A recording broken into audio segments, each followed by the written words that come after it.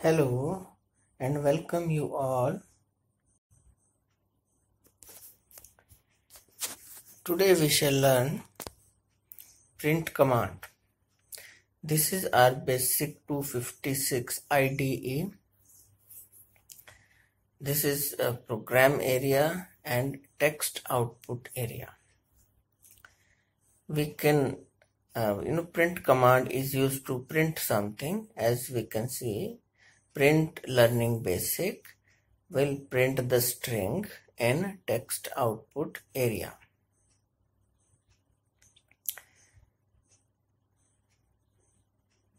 And second, in second line if we use print command, it will print in the next line. We can print it in the same line by using semicolon. But it's better to print in the next line.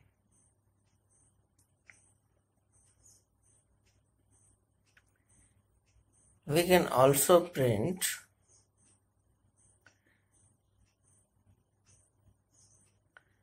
characters using print command. If we use comma in between those characters, they will be printed at distance. Like that two strings we can print they will be printed at distance. If we use comma in between them.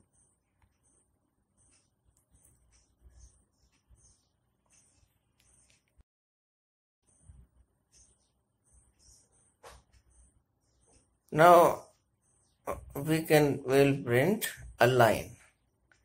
Let's see how can we print line using hyphens.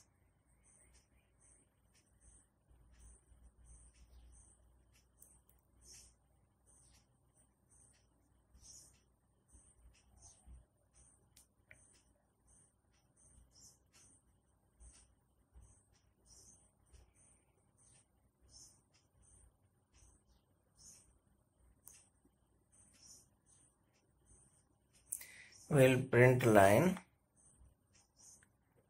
after this string also. It looks like one line.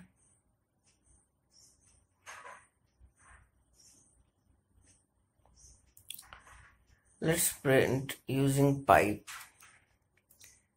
trying to create columns using pipe character you can do that.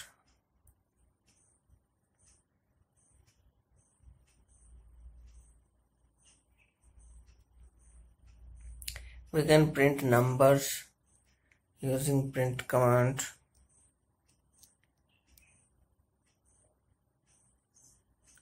We can print expressions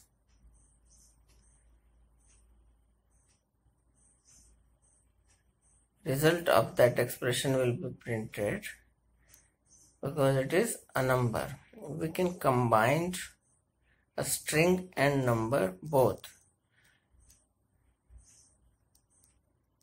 Because first 2 into 2 equal to is in the quotation mark so it is number a character a string now let's see a special character. How can we print a special character?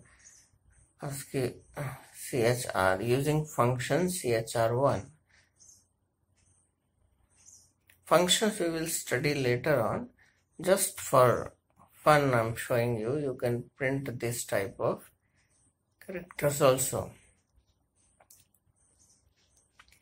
Let us repeat it using label and go to command. Go to command using go to command will repeat it. Oh, sorry, because I have not put colon. I should put colon after label repeat. Now this go to command will work. How does it look like? I hope I am clear to you. In case of any doubt, please put in a comment. Thank you.